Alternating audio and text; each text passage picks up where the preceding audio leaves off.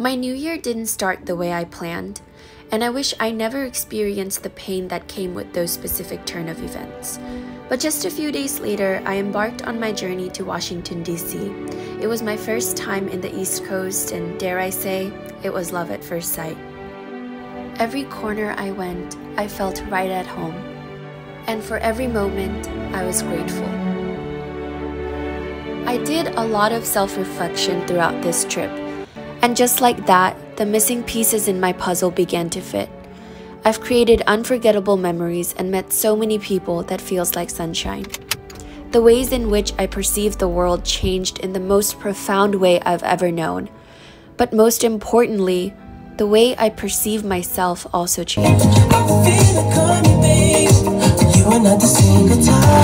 To feed my mind, body, and soul with the love and care that it deserves, yoga and Pilates have become my safe haven. There's a quote from one of my favorite movies that I found meaning in recently, and it goes something like this No one really knows anyone. That's the thing about relationships. People are always saying, I want to know you, I want to know who you are. But it is so hard for anyone to even know themselves. Who I am is always changing, so how can anyone else share in that? But I will leave you with this.